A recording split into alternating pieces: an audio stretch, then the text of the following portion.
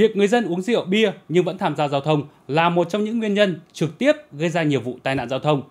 Thực hiện chỉ đạo của Bộ Công an, Phòng Cảnh sát Giao thông Công an tỉnh đang tăng cường tuần tra kiểm soát và xử lý vi phạm theo chuyên đề người điều khiển xe trên đường mà trong cơ thể có chất ma túy, vi phạm nồng độ cồn từ nay đến hết năm 2022. Với mục tiêu đề ra là kiềm chế và kéo giảm tai nạn giao thông từ 5 đến 10% trên địa bàn từ ngày 1 tháng 3 năm 2022 vào 18 giờ đến 22 giờ hàng ngày, lực lượng cảnh sát giao thông toàn tỉnh đã giao quân tập trung tuần tra trên tuyến quốc lộ 5, quốc lộ 39, quốc lộ 38, quốc lộ 38B, đường tỉnh 379 và các khu vực có nhiều quán ăn, quán nhậu, điểm hát karaoke, khu vực đông người nhằm phát hiện các trường hợp vi phạm nồng độ cồn.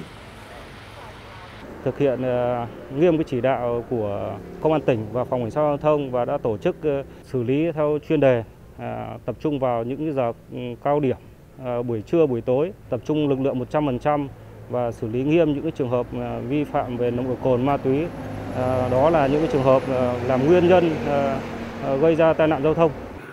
Theo thống kê trong quý 1 năm 2022, qua tuần tra kiểm soát, lực lượng cảnh sát giao thông tỉnh đã lập biên bản xử lý trên 3.000 trường hợp vi phạm trật tự an toàn giao thông, phạt tiền hơn 6 tỷ đồng, trong đó đã phát hiện xử lý vi phạm nồng độ cồn 367 trường hợp, phạt tiền gần 2 tỷ đồng. Việc lái xe sử dụng rượu bia là nguyên nhân của nhiều vụ tai nạn giao thông nghiêm trọng. Ờ, để mà thực hiện nó có hiệu quả và góp phần làm giảm thiểu tai nạn giao thông thì ờ, phòng cũng ờ, chủ động phối hợp với các đơn vị liên quan tăng cường cái công tác ờ, tuyên truyền, chủ động nắm tình hình khảo sát tuyến địa bàn và tăng cường cái việc kiểm tra xử lý, nhất là những tuyến địa bàn nó tập trung nhiều cái